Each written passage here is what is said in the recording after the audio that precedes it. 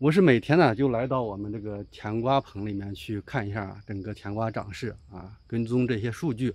因为啥呢？因为这个机制呢，栽培机制呢，我们是用的第二茬了，就是啊，瓜果类是第二茬了啊，一个冲茬的问题啊，通过我们洗机制啊，能不能达到一个彻底避免冲茬问题？这第一个啊，第二个呢，就是我们这个甜瓜呢没有嫁接啊，不采用嫁接苗啊，直接用植根苗去做去做的。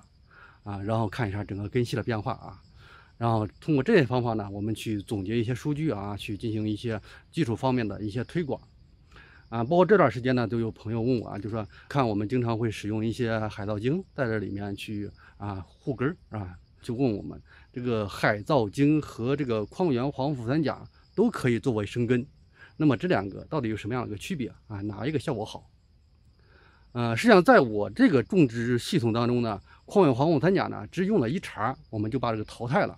淘汰的原因就是什么呢？因为它抗硬水能力太差了啊，就是加到水里面去以后，如果这个钙镁这个盐呢过高，或者是加到肥料里面啊，就很容易出现这个絮状物啊，造成沉淀了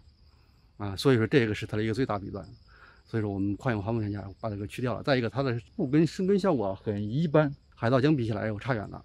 啊。但是它有优势，就是它比海藻精要便宜很多。这就是为啥这两年大家在推广，你看有很多人在卖这个矿源黄腐酸钾，就这个企业卖的特别多，但是海藻精这一块很少人卖了，就是因为它的价位比较高，